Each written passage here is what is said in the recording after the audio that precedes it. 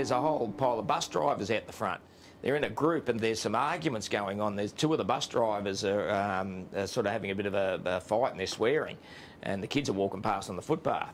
I said, oh, God, thanks for letting me know. So I went out the front, and uh, yeah, it was about yeah, about eight or nine of our, our school's bus drivers, and they're all on sort of on the nature strip. And two of them were they were having a real uh, real argument, and uh, so I sort of got between them. I said, hey, hey, guys, the kids are walking past, don't be swearing. And uh, Vince, what, what's going on? What, what, what's happening? What, what are you doing? Uh, oh yeah, yeah. Thanks, Vince.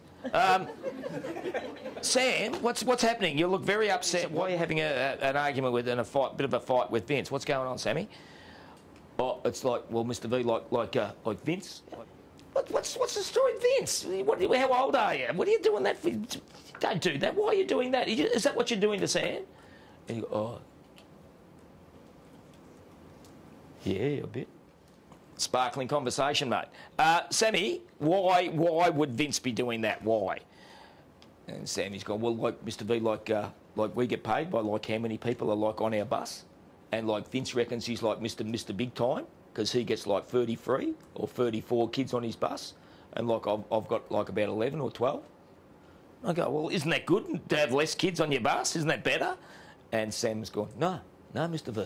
And, uh, and he's got uh, like, because uh, I've only got like that many because like, uh, and we get paid by how many kids are on the bus. And like Vince reckons he's like Mr. Big Shot because he gets like 33, 34 kids and I only get 11. So that's why he's doing like that thing. I all right. I said, hey, Sam, I've got to tell you, Vince, Vince doesn't get that many kids because he's a better bus driver. Vince is just lucky that he gets that part of the run. Uh, I said, Vince, you know that. They said, but that's just luck. And if you're going to be doing that, I said, all right. And the other bus driver said, yeah, yeah, we're not happy about this either. I said, right, sorry, guys, I didn't know. And so uh, um, I went inside and I sat down with my AP and we thought, how are we going to solve this?